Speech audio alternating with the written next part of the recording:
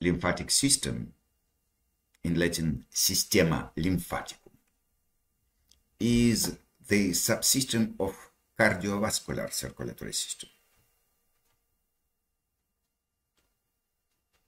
Lymphatic system represents a complex of lymphatic pathways from the lymphatic capillaries to the thoracic duct, including the lymph flow pathways inside the lymph nodes, in which lymph is located and circulates.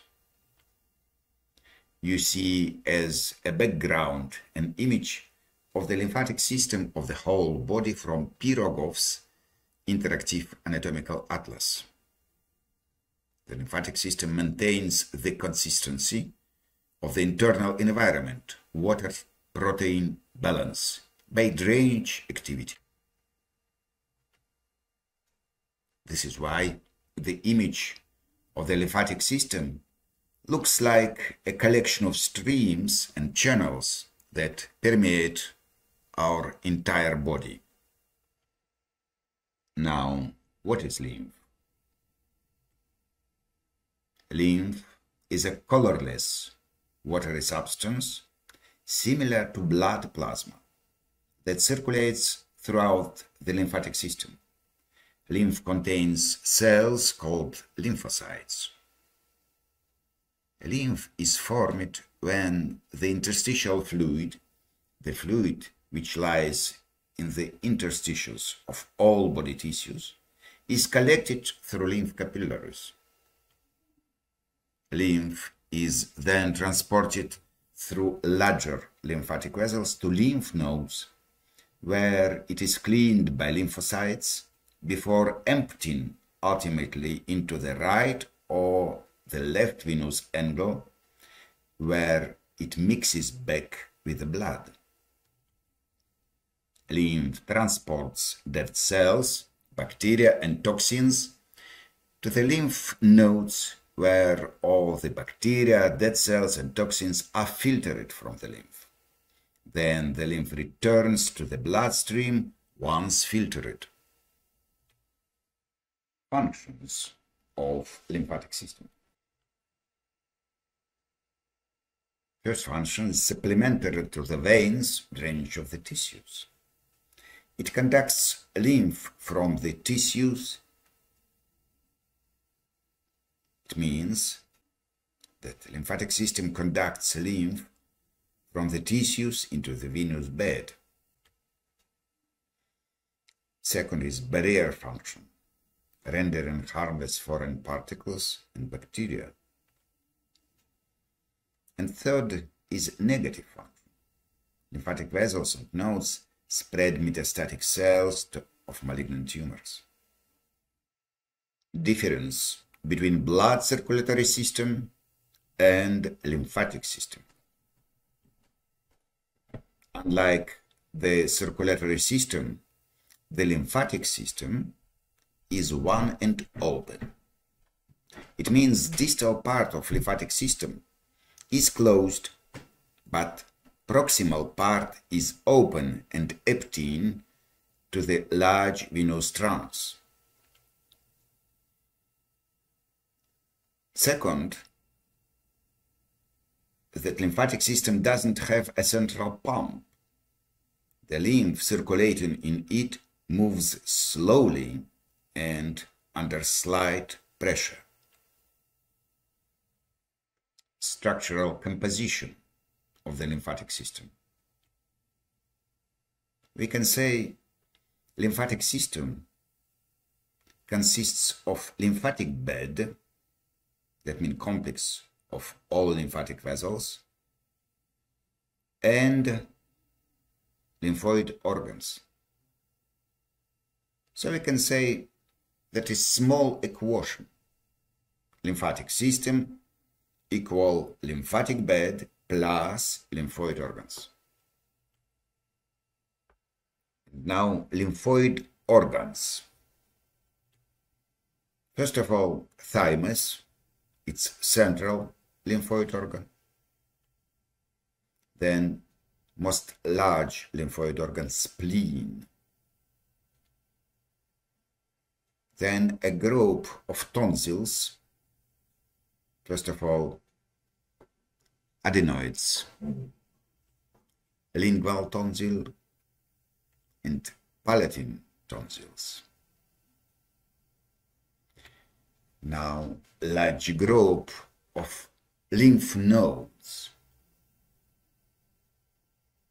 Once again, we see an image from the Pirogov's interactive anatomical atlas of the lymph nodes of our body are depicted here. Interestingly, the cubital and popliteal lymph nodes are located most distantly on the extremities. This means that we will not find a single lymph node more distally than these locations. There are no lymph nodes on the foot, leg, forearm, and hand.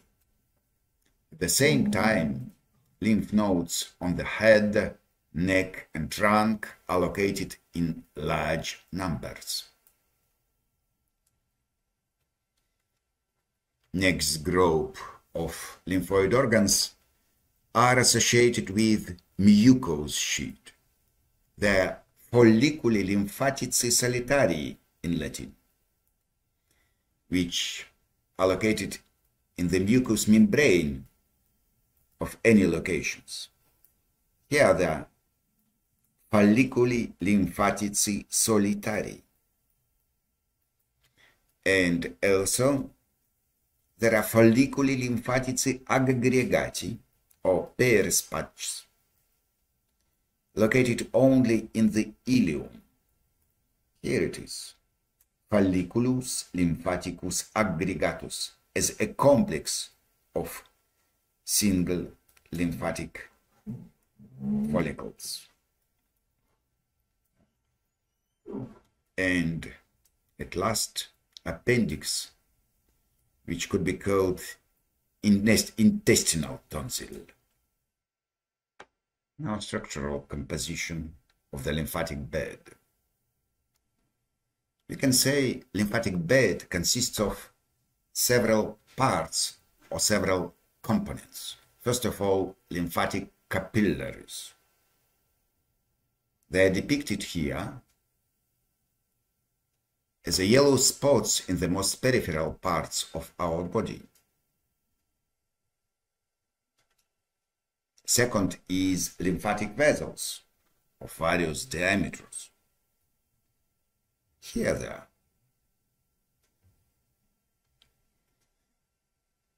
Third component is lymph nodes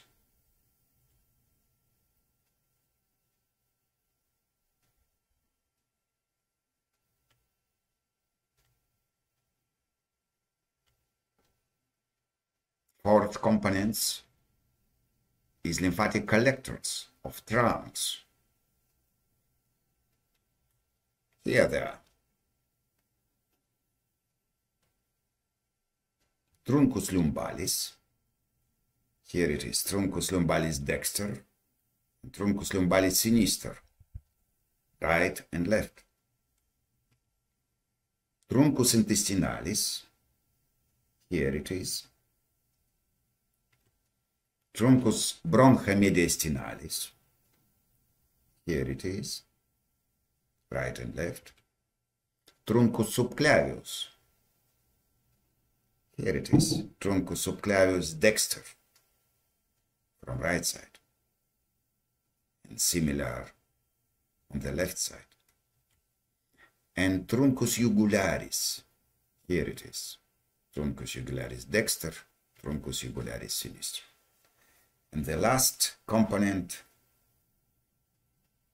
main lymphatic ducts, ductus thoracicus and ductus lymphaticus dexter. Ductus thoracicus, here it is, the most large lymphatic vessel in our body. And quite small ductus lymphaticus dexter, which has only two or three centimeters of length. Structural features of lymphatic capillaries. First of all, lymphatic capillaries start blindly. They are closed at one end. We can see here multiple lymphatic capillaries of green color in the interstitial space between the blood capillaries. We see that they are closed at one side and seem to be immersed in the interstitial space. In comparison, blood capillaries are open on both sides and are connected to arterioles and venules. Next feature, lymphatic capillaries have larger than blood capillaries diameter, from 20 to 200 micrometers. They do not fall in off due to sling filaments. This is schematic representation of an electronogram of a lymphatic capillary in cross section. We can see that it gapes wide, it does not fall off, it has an open lumen.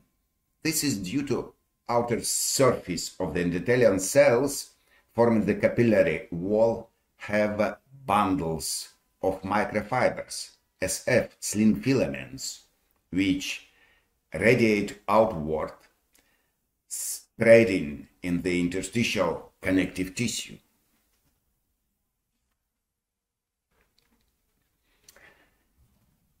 Lymph capillaries have wide endothelial gapes. That's why proteins can penetrate through the wall along the interstitial fluid enters the capillary.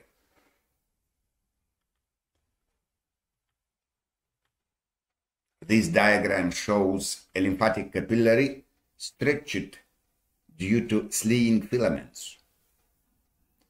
Through endothelial gapes, liquid penetrates from the interstitial space inside the capillary along with protein molecules. And the last feature lymphatic capillaries are absent in cartilage, placenta, brain, and spleen. The difference between lymphatic vessels and lymphatic capillaries. Lymphatic vessels have valves. Lymphatic vessel consists of lymphangions, the structural and functional units of lymphatic bed the part of lymphatic vessel between two valves. Lymph flow factors, or why lymph flows against of gravity gradient. First reason is so-called vis a tergo. This Latin term means force from behind, pressure of new portion of absorbed lymph inside of lymph capillaries and vessels. Second, valves of the lymphatic vessels which prevent reverse flow of the lymph flow. Pulsating effect of adjacent arteries,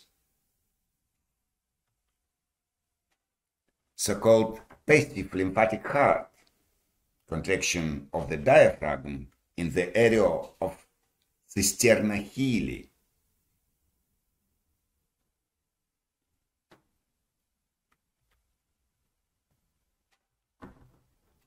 Then skeletal muscle contraction.